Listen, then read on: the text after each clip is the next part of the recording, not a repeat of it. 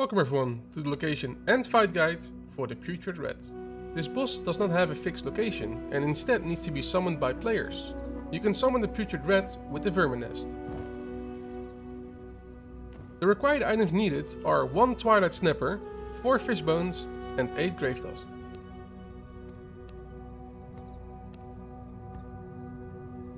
This boss has 3 main key points. Before going over the key points, there is something to keep in mind with this boss. If you fight the Putrid Rat and there is not enough space due to walls or fences, the boss will sometimes get behind them when getting back out of the ground and reset back to full health. When the boss enrages or turns red, the boss will gain a rapid attack. This will deal a decent amount of damage, so try to dash out of it. When the boss wiggles, the boss will release a toxic cloud that will shortly after explode. If you get hit by this, you will get a small knockback and a toxic dot for about 5 seconds. When the boss is a bit lower health, the boss will start digging into the ground. When the boss is gone, the boss will summon a lot of adds. The number of adds summoned depend on the number of players attacking the boss at once. However, even when doing this boss solo, there are still a ton of adds. Try to use AoE abilities during this phase.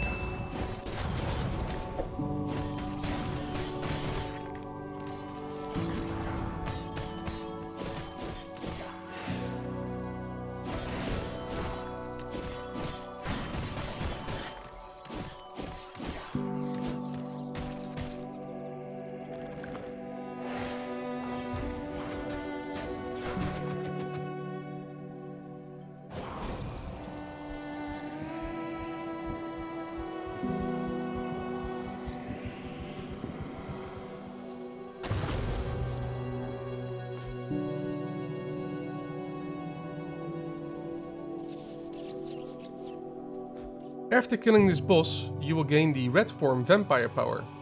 When using this power, you will turn into a small rat, which reduces the detection range from enemies. I hope you enjoyed this guide.